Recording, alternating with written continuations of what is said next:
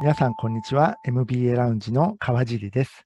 今回はですね、よくいただく相談に回答するという形でいきたいと思います。えー、今回のご相談はですね、無名の大学に行ったら転職に不利ですかというようなご相談ですね。MBA 留学相談会やってると、このような質問はね、えー、非常に多いんですよね、実は。まあ、もちろん皆さん、有名大学に行けたら越したことはないですけれども、まあ、それなりにハードルが高いと。あね、有名じゃないところだったらなんとか手が届くんじゃないかと。でもそもそも転職に不利だったら行っても意味ないんじゃないのかなというようなあ人がね、えー、やっぱ考える人もまあいるというところですね。まあこれはですね、うん。まあ、職業によるかなというところがあります。例えば、経営コンサルタントとかですね、えー、あとは政治家の方とか、結構あの、プロフィールが重要な職業っていうのはやっぱりあの、あると思うんですよね、職業柄。まあ、悪い言い方あ、誤解を恐れずに言うとですね、こう、はったりを聞かせることができるようなあ職業と。ね、この人の経歴を見てすごいなと。ではお願いしますみたいな、あね、いうような感じ。まあそういうね、えー、まあ政治家さんとか、コンサルタント、弁護士さんとかもそうかもしれないですよね。やっぱそういったところがですね、非常に重要じゃないかなと思いますね。まあ、実際 MBA ではないですけれども、私の知り合いの弁護士さんね、えー、仲良くさせてもらっている弁護士さん、やっぱりね、あのー、まあ、その人東京大学法学部なんですけれども、ああ、もうこれは全然違いますよ、というふうに言ってましたね。受けがね。なので、まあそういったところは、あのー、まあ MBA でもやっぱあるのかなというふうに思います。まあ、ただね、えー、それ以外の職業であれば、あまり意識する必要はないのかなというふうに思いますね。で特にこれからの時代ですね、えー、非常に重要なのは、まあ、これからの時代というか、昔からもそうだったかもしれないですけど、やっぱまあその人自身がどういった実力を持っているのかというようなところ。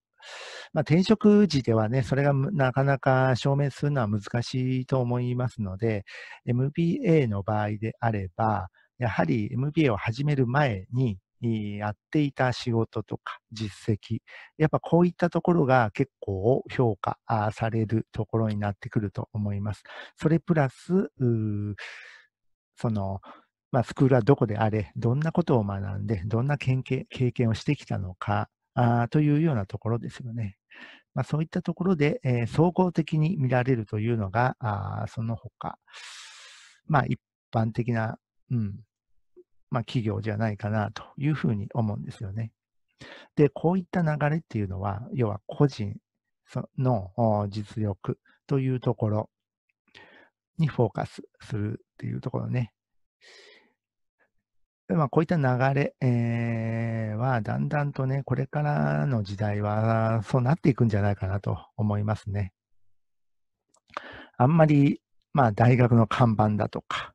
あというところは、あ薄れつつあるのかなと思います。まあ、一部の職業を除いてですね。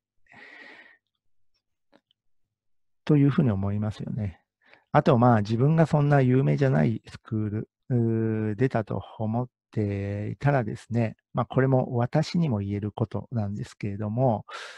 自分が活躍して、その学校をね、出身校を盛り上げる、有名にするというぐらいの気持ちでもうガンガン行くというのがいいんじゃないかなと思うんですよね。別に、その、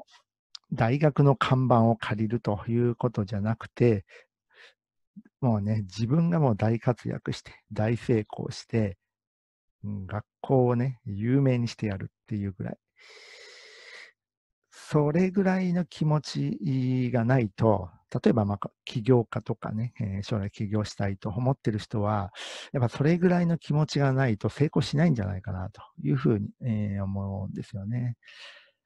だからまあ、そういった気持ちでいけばいいかなと。あの職業によっては、やはり大学名というのは非常に重要だけれども、まあ、それ以外の職業であれば、まあ、自分の、自分自身の価値で今までの実績を見られているんだよというようなところそして、えー、自分がねその学校を有名にするぐらい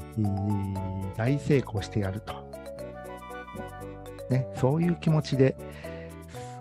頑張ってい、えー、くそれぐらいないと成功は難しいんじゃないかなというようなところですよね。というところで、えー、本日は以上になります。ありがとうございました。